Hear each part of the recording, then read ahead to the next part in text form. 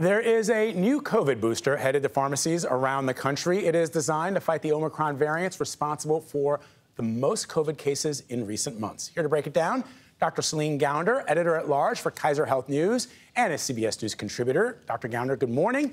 Good to see you. Uh, Nate is back with us because he has some questions for you, Dr. Gounder. I do, Dr. Gounder. It's good to see you. Um, now, for people whose last COVID shot was a while ago, maybe even last year, is this the booster update that they've been waiting for? Big picture, if you are 12 and up, uh, and you have received your primary series, you might have even been boosted. If you're 12 and up, you are eligible for an updated Omicron vaccine. I would make that advice a little bit more nuanced for people who want a slightly more tailored approach. So if you are 50 and up, if you are immunocompromised, you should get that Omicron booster as soon as possible.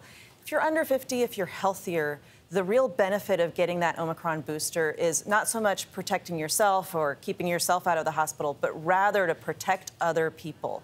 And so, if you are planning to see perhaps older family members, other people with medical conditions over the holidays, you might want to delay getting that booster until two to four weeks prior to the holidays.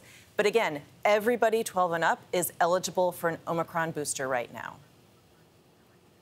Okay, so speaking of uh, delaying uh, getting the booster, I recently had COVID. I'm okay now, uh, for everybody who's wondering. Um, but I- I'm vaccinated, I'm boosted. So should I wait, and how long should I wait if I'm going to get the Omicron booster, or should I get it at all?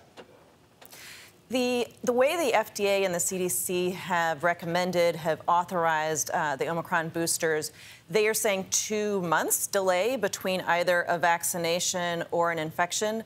But if you actually look at the immunological uh, basic science studies, it's really three months or more. So the advice I would be giving my patients in the hospital is wait three months from your last case of COVID, your last infection, or three months from your last COVID vaccination before getting the Omicron booster. You want, we want that time so that the booster actually takes and works for you. Should you Okay. stick with the same brand? Like if you've been getting Pfizer all the time, should you switch to Moderna to get this booster and vice versa? It really doesn't matter. It doesn't matter. Yeah, just think of these as interchangeable. They're both mRNA vaccines for COVID. They work very similarly. Okay, and can you get the flu and COVID booster at the same time? Because it's flu season. I'm debating should I get the flu shot too?